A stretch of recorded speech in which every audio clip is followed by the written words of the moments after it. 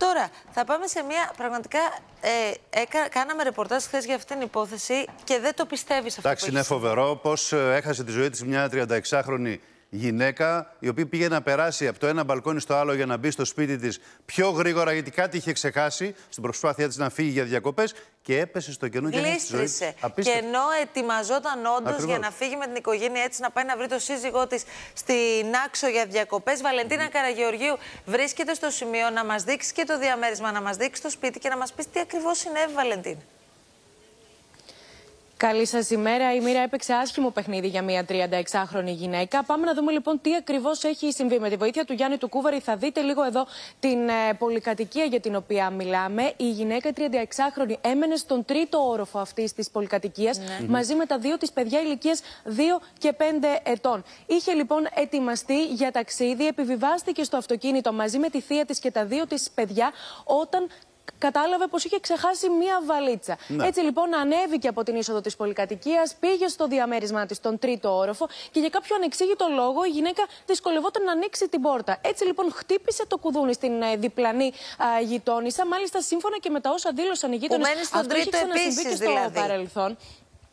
Μένει επίσης στον τρίτο. Εμείς ναι. σας δείχνουμε τον μπροστινό μέρος της πολυκατοικίας. Ναι. Ωστόσο, η γυναίκα μπήκε στο διαμέρισμα της ε, γειτόνισσας και προσπάθησε να πηδήξει Αυτό από το διαμέρισμα της στο δικό της.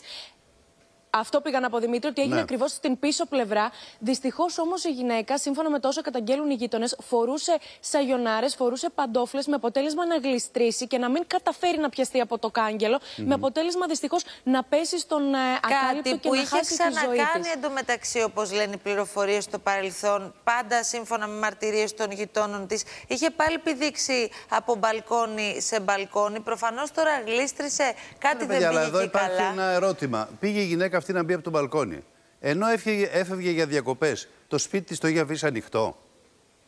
Δηλαδή είχε αφήσει την μπαλκονόπορτα ανοιχτή και μπορούσε να μπει από εκεί. Ναι, Αυτό ε... είναι ένα ερώτημα. Και επίσης, γιατί δεν μπορούσε να ξεκλειδώσει την πόρτα; Α πούμε ότι δεν μπορούσε, ρε παιδί, μπορεί κάτι να σου συμβεί. Κάπως μάγκωσε το κλειδί. Ναι. Κάτι έγινε. Έχεις αφήσει το σπίτι σου ανοιχτό. Ενώ πας να φύγεις για διακοπές, είσαι στο αυτοκίνητο τώρα. Ναι. Η γυναίκα αυτή δηλαδή θα έφευγε σε λίγα λεπτά.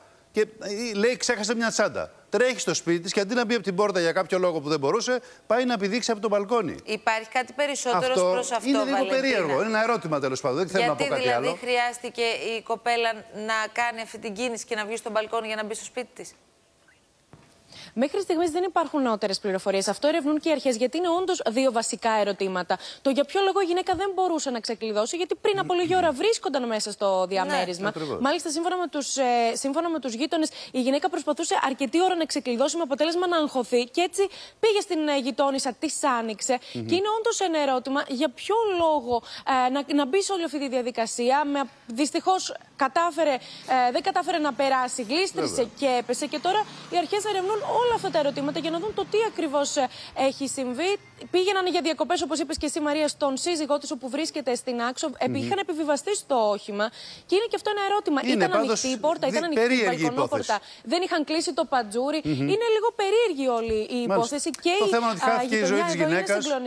Μια νέα γυναίκα και μάλιστα σε μια στιγμή ανεμελιάς, χαλάρωσης, διακοπών. Μια όμορφη στιγμή που περιμένουμε όλοι με αγωνία και με λαχτάρα κάθε χρόνο ναι. να χάσει τη ζωή της με αυτόν τον άδικο τρόπο. Και, και πέρα τα υπόλοιπα τα ψάξουν αρχή. Και ενώ όλα φαίνονταν μια χαρά. Έτσι, δηλαδή η ίδια είχε τα παιδάκια της, το γενικό της πρόσωπο. Την περίμενε ο σύζυγός της να πάνε στην άξονα, να περάσουν όμορφα. Δηλαδή, να πει κανείς. Όλο πραγματικά μοιάζει ε, ιδανικός σε αυτή τη φάση για να έχει mm αυτή την κατάληξη.